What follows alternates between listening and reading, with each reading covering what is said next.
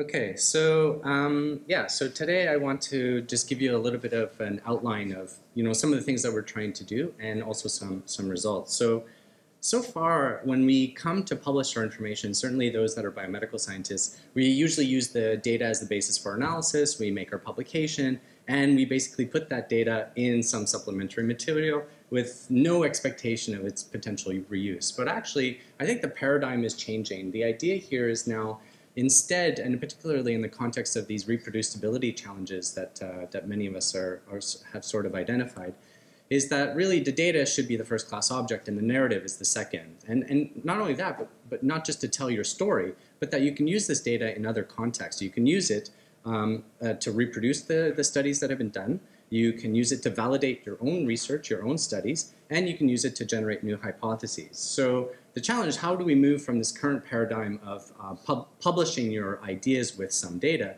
to really using data to generate all kinds of new activities. I think part of the solution is really two, twofold. One is to develop infrastructure. I think a lot of us are doing this, right? Methods to an infrastructure to identify, to represent, to store, retrieve, and aggregate, query, and analyze data. Exactly what we saw in the previous presentation and in manner using software and services that are reliable and reproducible, right? That we can share these analyses, other people can do it, and they can develop new infrastructure from there. We also need methods that will allow us to report on what we already have, but also discover new, um, uh, plausible, supported, prioritized, and experimentally verifiable associations. And all this is great, but at the end of the day, it's kind of like the question I was asking, which is you can have the best technology in the world, but you need other people to use it, and we have to develop community to do that. So this is the whole idea behind FAIR, actually, is really to engage the community with a set of very simple principles to sort of drive what do we really need in place in order for us to massively reuse people's content. And so the FAIR principles, right, focusing on the aspects of findable, accessible, interoperable, and reusable, are really meant to be not just for data, but actually for any digital resource that you would publish on the web, right? So whether that's software, images, web services, scholarly publications, so all should be subject to these FAIR principles. And in particular, it's not just the data, but as you saw before, also the metadata. The metadata has to be in a, in a format and uh, sufficiently described that we can use it to discover your content and to reuse it and make decisions about that. So the nice thing is that the FAIR principles have been developed sort of in a multi-organizational uh, context. The work started at Lorentz Center in Netherlands in 2014, and we refined them here in, uh, at the Biohackathon in 2015. And we published our work in 2016. We have now over 200 citations of this paper. It's been included in the G20 uh, communique. It's been endorsed by European Open Science Cloud, H2020, NIH, and so on. So now researchers are being faced with, okay, what are you doing to make your stuff fair? And they're looking around and they're going to blame me and Mark and others um, but hopefully, right, that we're going to help build the infrastructure and the know-how to move the state of the art, to move how we have been doing things for so long, so vastly inadequate, to a whole new paradigm of, of content publishing. Now, of course, here at the Biohackathon, as Toshiaki indicated, is that the semantic web really holds a, a special place in our hearts as to how we are going to uh, make this possible. That by adopting the technologies, by working within the context of the W3C, we can advance technologies and platforms and infrastructure that we can all share and reuse. And I think the, the value here, of course, is that it's a distributed platform for knowledge sharing, right? And for, for basically uh, establishing standards and reusing them. So this is the exciting thing. And of course, we're building this massive knowledge graph of, of information, highly connected information. You've probably seen this linked up a data graph. The portion in the red is the life sciences portion, largely comprised of ontologies, but also data sets. One of the projects that we have in this space is called Bio2RDF. This is one that uh, we run where we take data and its glorious heterogeneity and we generate linked data out of it and provide it on an online platform. So this is great, and uh, there are billions of statements, and it, we're joined not, so it's not only just Bio2RDF, but of course we have our partner organizations like EBI and the NCBI and so on, and DDBJ, that are also publishing content in this space. So this is excellent. And of course, we are not the only ones to use. Companies like OntoForce and MetaOM create uh, what I would say are killer applications to uh, formulate fairly sophisticated queries using a graphical interface that allow you to do the search, to aggregate, to apply um, these faceted uh, search filters on multiple aspects of your connected data. And that lets you really deep dive into the data without actually knowing the query language itself. So this is extensions of what you would see with Amazon and that sort of thing where you're doing an initial search and you're deep diving now can can go on. So this is exciting, but I think the other part, which is really nice, particularly in the context of sort of the fake news crisis, is really where did this content come from? And so in, in products like this, you get to see here are all the data sources that were used to generate that content, and they become really immediately visible to you. And I think that's very important, particularly for scientists, for doctors, for others that are really concerned about the source of the information that's being presented to them. Here they can look at it, they can assess it, and then they can decide whether or not to reuse it. Now, of course, data retrieval, data discovery, data retrieval are only part of the solution. What we do in our lab is really discovery work. We want to find associations that haven't been reported. Um, so part of that is taking some portion of that graph and transferring it into other modalities that are more useful, let's say, for discovery purposes. And part of that is um, generating, for instance, probabilistic semantic knowledge graphs. Do this work here with um, uh, our colleagues in the US, where we transform some portion of the graph um, involving diseases and genes and drugs, and try to identify potentially new compounds that could mitigate, for instance, in this case, melanoma, which uh, basically here we find new drug candidates and we can examine this against what we know in clinicaltrials.gov and see what stage of these drugs, uh, if any, have been explored to, uh, to use them as a, a, feasible treatment. So again, we're just using the information that's already there to generate hypotheses about potential drugs.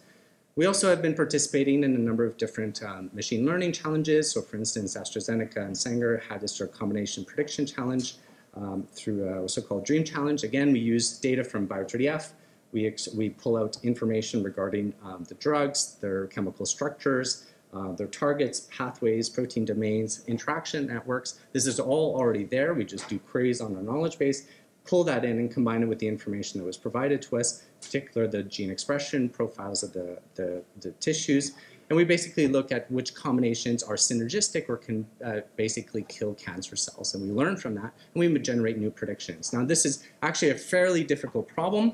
Um, we use a number of different sort of machine learning approaches, uh, and we do uh, okay, but I would say it's still a very, very, very difficult problem, but very, uh, very interesting from our perspective. And so we learn something uh, a little bit about what information is useful for making these kinds of predictions, but also the vast gaps in our knowledge about uh, drugs, uh, how they work, and how we can reapply them um, in these contexts. Now, this is all fine. I mean, when you're sort of the owner and developer of a repository of multiple databases all integrated together like Bio2RDF, you basically know what information is out there and you know how to pull it out. But the challenge is, actually even today, when I look out and I sort of say, um, you know, what new information has been generated, actually fairly difficult to do. And this is really the role of metadata, is that if you can describe your resource and we can index it, then we should be able to find things that we don't know. Um, so this is one of the big challenges, and we would argue that high quality metadata are basically essential, they're required for large-scale reuse and, and biomedical discovery. So some of the work that we've done here, or started here, uh, was looking at developing data set descriptions. Uh, and this, uh, we eventually, so we started this at uh, Biohackathon 13. Uh, we um, developed this data set description um, community profile, which we moved through the W3C and we've published uh, now in PeerJ.